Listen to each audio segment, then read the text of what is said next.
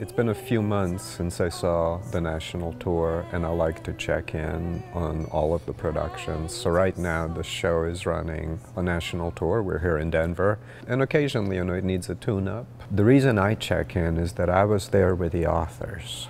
So I know why things are done. So when new ca cast members come in, and we often get new cast members, sometimes they inherit the form, but I'm one of the few people who can explain, like, here's why we do it this way, here's why it has to be this way. Then uh, there are stories the new cast members might not have heard that made their way into the production, so I kind of freshen it up that way. The name Anastasia, there were four daughters, but the myth, it's not Maria or, or Olga or Tatiana, it's Anastasia, and the name means resurrection.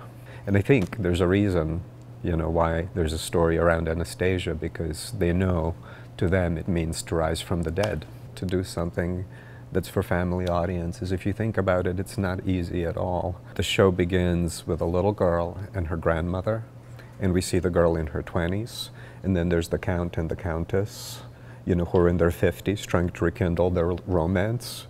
So there's something for every age range, and that's a very, actually very tricky thing to do, and it goes to the source material and a lot of intelligent decisions made along the way. In New York, there was a huge international crowd to, that came to Broadway to see the production, and there were young women, immigrant women from all around the world, and I realized that's part of the appeal. In the beginning, she's all on her own, and by the end, she's elevated into a status of a princess. So it's a romance, you know it's meant to give hope.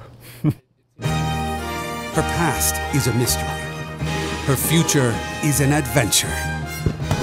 Anastasia, the Broadway musical. August 7th through the 18th. Tickets at denvercenter.org or call 303 893 4100.